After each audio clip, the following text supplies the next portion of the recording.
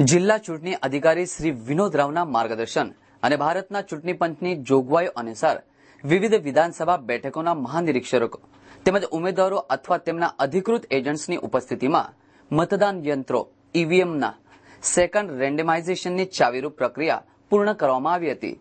સંબંધિત વિધાનસભા બેઠકોના ચૂંટણી અધિકારીઓ પણ તેમાં ઉપસ્થિત રહ્યા હતા. શ્રી રાવે તમામ આરોઝને તેમને બેઠકના સ્પર્ધક ઉમેદવારો, એજન્ટ્સને મતદાન મથકવાર ઈવીએમ ક્રમાંકોની યાદી પૂરી પાડવા સૂચના આપી હતી.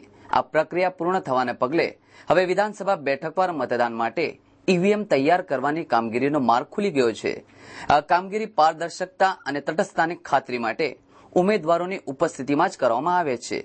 આ અત્યંત સંવેદનશીલ પ્રક્રિયામાં સૌનો ઉપયોગ મેળવવા માટે શ્રી રાવે ધન્યવાદની લાગણી પ્રકટ કરી હતી.